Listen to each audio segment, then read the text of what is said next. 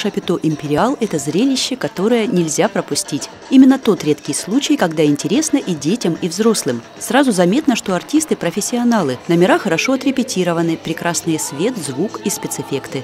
Для Армавира это новый формат, совершенно не похожий на привычные цирковые программы. Мы отходим от стандартных номеров, которые показывают все цирки, и стараемся показывать те номера, которые очень редко где можно увидеть. Я считаю, что каждый номер в каждой нашей программе, по большому счету, он по-своему уникален. В каждом номере есть что увидеть и чем восхититься.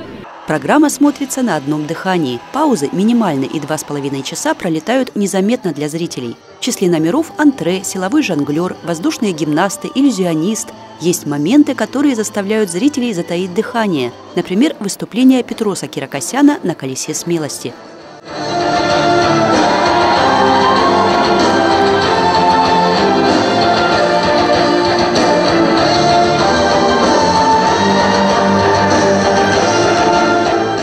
Ребятишки в восторге от выступления свободной стаи из десяти дрессированных хаски, а появление на сцене пяти роскошных тигров восхитит кого угодно. «Империал» – единственный цирк Шапито в России, где конферансье поет. Многие номера сопровождаются живым вокалом.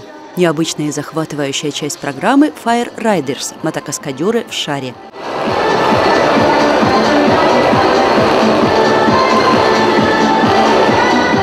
Разумеется, весь вечер на манеже забавный клоун. Его зовут Шурик, и зрителям нравится с ним общаться.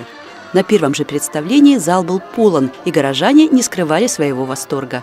Мне понравилось, когда собачки бегали. Это вообще было круто.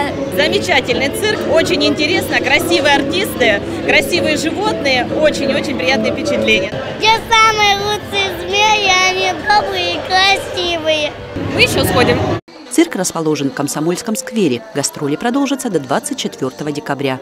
По будням представления начинаются в 18 часов, по выходным в 13.00 и 17.00. Влада Волошина, Евгений Холманских, служба информации телеканала РЕН-ТВ «Армавир».